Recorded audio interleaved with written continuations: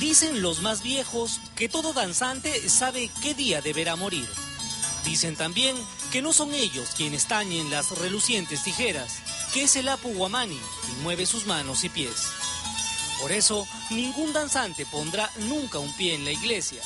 Por eso es también que la tierra se alegra al sentirlos bailar. Y es que el origen y el significado de esta danza va más allá del misterio y la propia fe.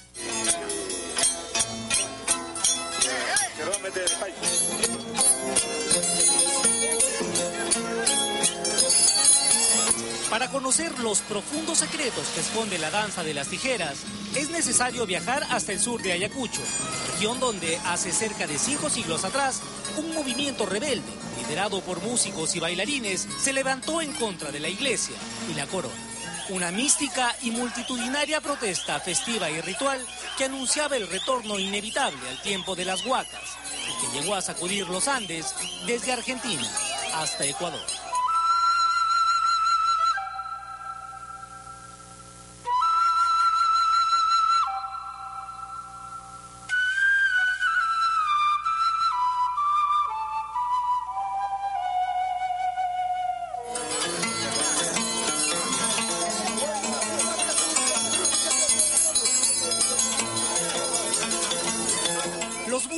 Profetas del Taquioncoy viajaban de manera clandestina por las alturas, organizando grandes fiestas ofrecidas al espíritu de sus apus y las almas de sus ancestros.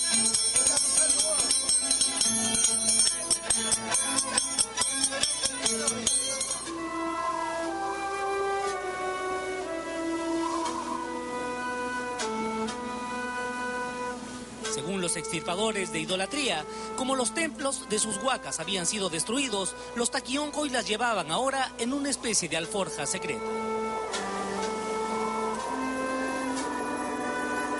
Yo acá he venido para- en particular con mi huaca, con mi mesa, desde la ciudad de, desde la ciudad de Lima. Yo siempre ando con mi huaca, con mi mesa. ¿Qué cosa hay acá? Es una mesa, mesa propio. Es elemento de la naturaleza, son elementos de la naturaleza que contiene acá adentro. Esto nadie puede ver, solamente yo puedo ver.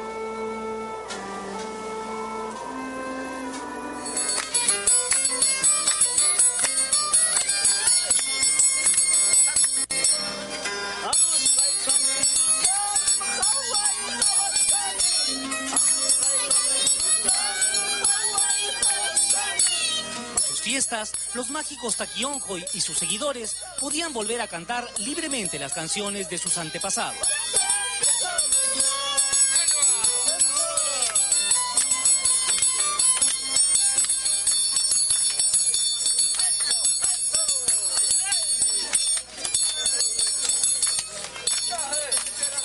Luego de invocar el poder de sus apus guamanis, eran capaces también de curar a los enfermos.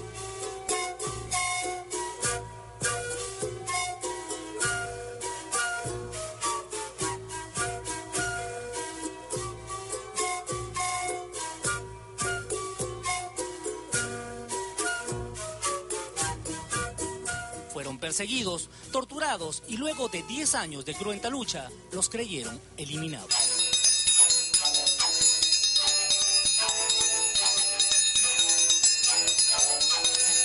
Tus pasajeros ni se imaginarán que tú eres danzante tijera. No, no sabe nadie. Aparentemente no es esta persona como cualquiera, ¿no? Como cualquiera. Pero no saben que tenemos algo más que, que enseñar o demostrar.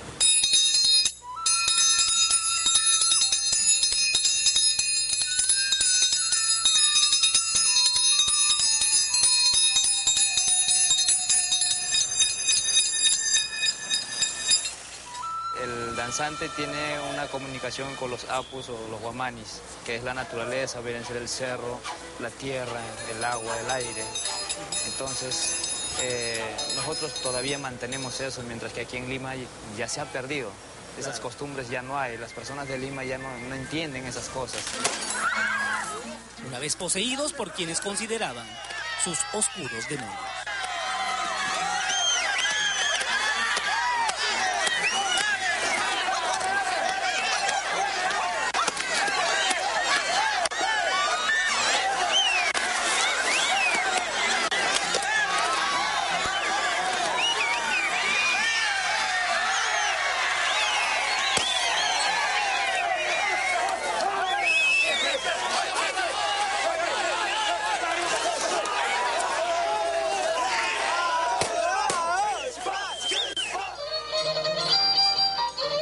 Según los documentos coloniales, durante los primeros tiempos del Taquionjoy, muchas mujeres protagonizaron estos bailes y rituales.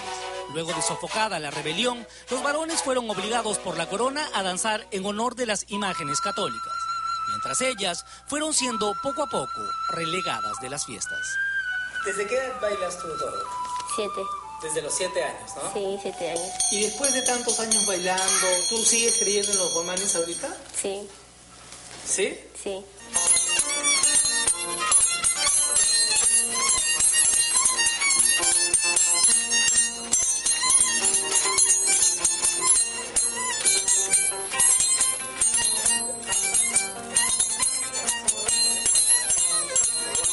¿En tu colegio saben, por ejemplo, que tú tienes esa creencia?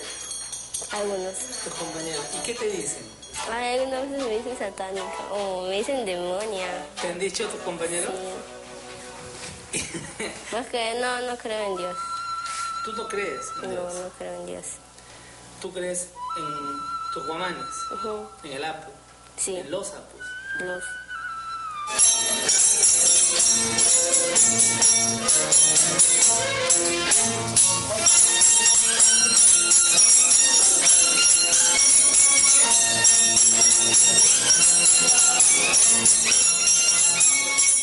Usted es católica. Católica. ¿Y cómo to- lo tomó cuando ella le dijo, mamá, yo creo en los guamanes, creo en los apus? Bueno, un poquito de discrepancia al principio, ¿no? Al principio. Al principio, pero ya después, normal. Usted también está creyendo un poquito de repente. Sí, sí, ahora sí. Ahora sí. Sí, ahora sí.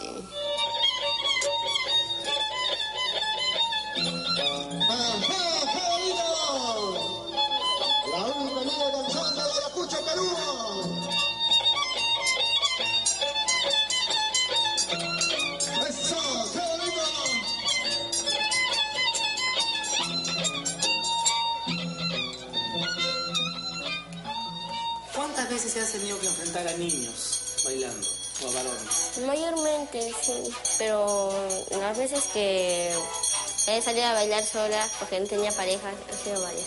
No tenías pareja, ¿no? No, no tenía pareja. ¿Pero por qué? ¿Te tenían miedo los chiquitos? No querían bailar conmigo, me dijo que no, yo no bailo con mujeres, estas danzas de hombres. Pero al final tú les has demostrado que, Sí, que siendo mujer se puede. sí se puede.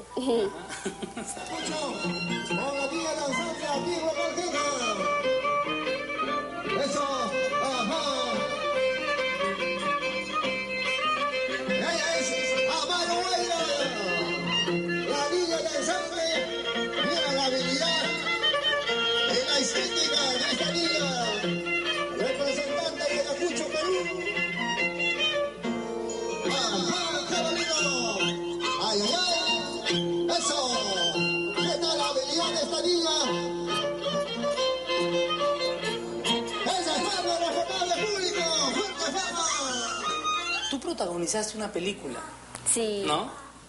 Y esa película ganó un festival importante, Sí. ¿no? Papá,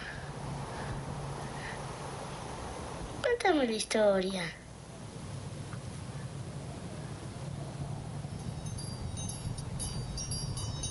Dice que de las montañas nació un danzante de tijeras.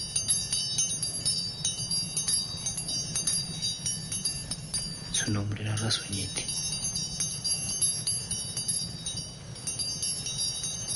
La fuerza de un danzante depende del guamani que vive en él. El de Rasuñiti era grande, una montaña de nieve eterna. ¿Tú eres actriz? ¿Has llevado algún taller de, de Nada. actuación? Nada. No, nada. Nena, Toma tu pastilla. No. Pues no te baja la fiebre. ¿Y te gustó el mundo del cine y la televisión? Me encantó.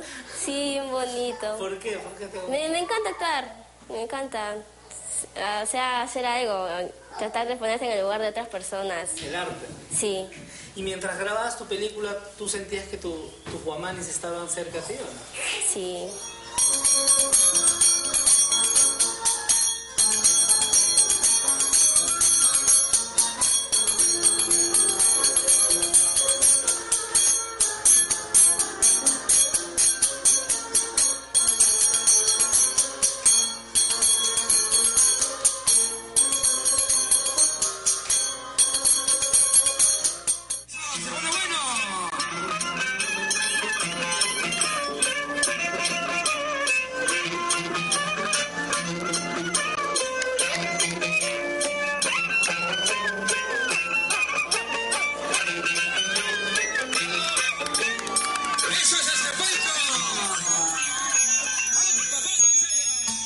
Más de 20 años se cumplirán cinco siglos desde que el mundo cristiano se impuso al de las huacas. Los taquionjoy, los entregados pachángeles, siguen resistiendo y esperando entre nosotros.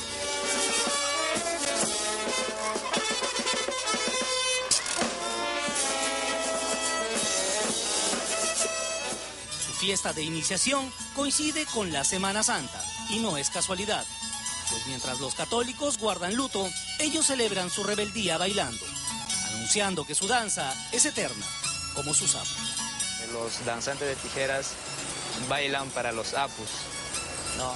Es el día, por ejemplo, donde que la gente conmemoran a, a Cristo muerto, mientras que los danzantes bailan porque es como que ya no hay un opresor. Mayormente la fiesta eh, o ese- esa fecha es para los que recién están iniciando. Entonces, ahí es donde que lo vemos si tiene cualidades o no para este arte.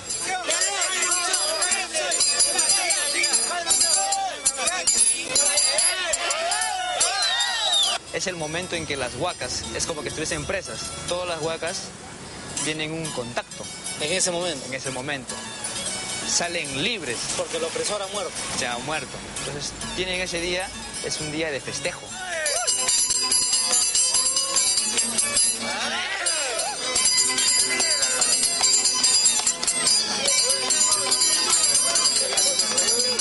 Pueden recién comunicarse con los apus. Y una vez al año poder comunicarte con el apu, poder tener ese, ese, ese contacto con ellos. Ahí empieza la convivencia. Por eso que ahí ves al danzante. El que recién empieza, de un momento a otro, se levanta. Pues dice, "Ay, no, che, tú vas a ser bueno.